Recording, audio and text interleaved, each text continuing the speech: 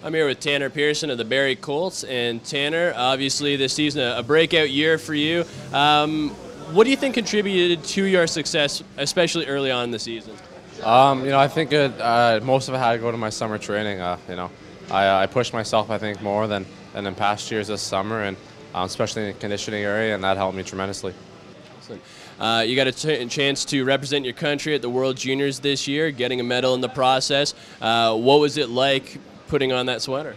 Uh, it was unbelievable. You know, never be able to, or never been asked to, to something Hockey Canada before, and you know, the World Juniors is such a prestige stage to play in, and you know, it's always an honor to, to, to don that uh, Canada jersey on the front of your chest. What do you think you do best on the ice?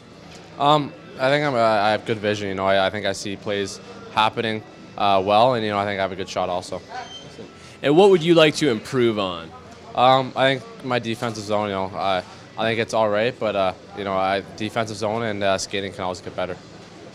Now the uh, the draft combine is uh, sort of on the way here. Um, you did suffer a, a, bit of an injury setback. Do you know if you would be participating uh, physically or just in the interview portion? I actually don't know the, the actual answer right now. Um, you know, I, I, will be there for sure doing the doing the interview process, but I don't know about the uh, the testing. Excellent. Thanks so much. Thank you.